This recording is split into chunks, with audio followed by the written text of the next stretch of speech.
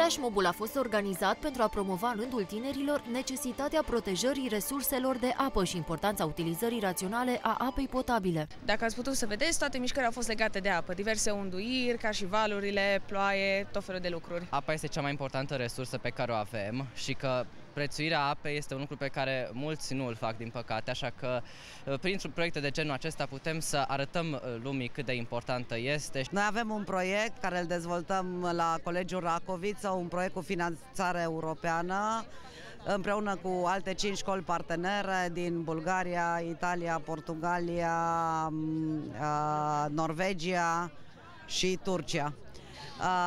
În cadrul acestui proiect, titlul proiectului de altfel este SOS Water, Save Our Water Sources și în cadrul acestui proiect noi dorim ca să facem un pic de educație pentru apă. Evenimentul organizat de elevii clujeni a durat aproximativ 20 de minute.